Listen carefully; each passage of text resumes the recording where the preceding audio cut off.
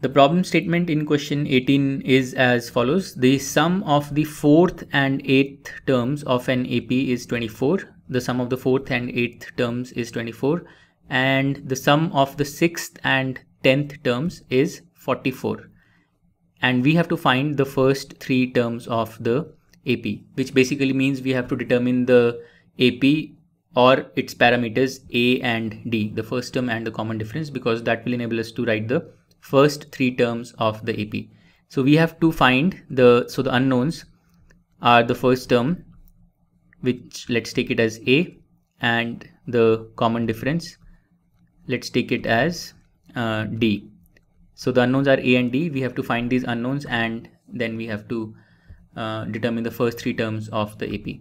Now the two pieces of information that are given to us, the first one is fourth and eighth terms, their sum is 24. So we can write this as T4, the fourth term, plus T8, the eighth term, is equal to 24. And we are also told that the sum of the sixth and tenth terms, so T6 plus T10, this is equal to 44. Now what we will do is we will write each of these four terms in terms of A and D and we will make use of the formula Tn or the nth term is A plus n minus 1 D. So let's do that. So let's take this equation 4 first. T4 plus T8 is 24. So what is T4 in terms of A and D? So T4 is A plus n minus 1. So n minus 1 is 3. So A plus 3D. This is T4 and T8 which is the second term is A plus 7D. Um, n minus 1 is 7 for the 8th term. So A plus 3D plus A plus 7D is equal to 24 and to make sure that you're clear a plus 3d is t4 and a plus 7d is t8 and this gives us a linear equation in a and d. So what is that linear equation?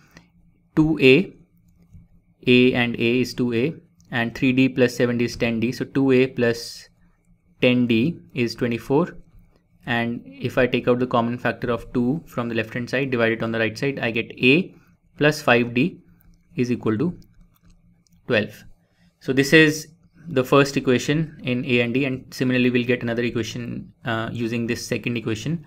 So let's write that. So T6 is A plus 5D uh, because n minus 1 is 5 and then T10 the second term is A plus 9D this should be equal to 44 and A plus 5D is T6 a plus 9d is t10 okay?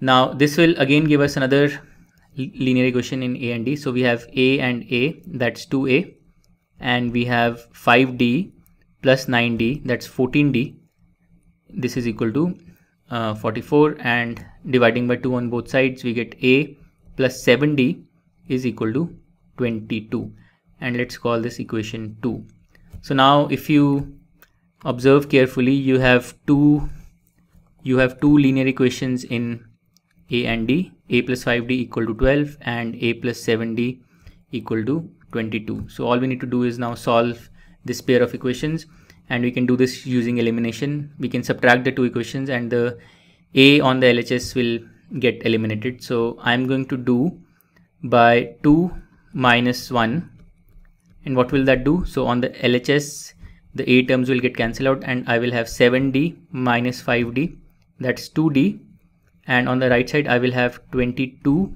minus 12 that's 10 and this gives me d equal to 5 so the common difference of the AP is 5 and now if I plug this value of d into let's say the first equation I get a plus 5d so 5d is 25 because d is 5 so a plus 25 is equal to 12 and this means that a is equal to 12 minus 25 or minus 13. So the first term is minus 13 and the common difference is 5. And now it's very easy to write the first three terms of the AP. So the first term is minus 13. The second term is minus 13 plus the common difference 5. So that's minus 8. And the third term is minus 8 plus 5 again. So that's minus 3 and so on. This AP continues. So the first three terms of the AP are minus 13, minus 8 and minus 3.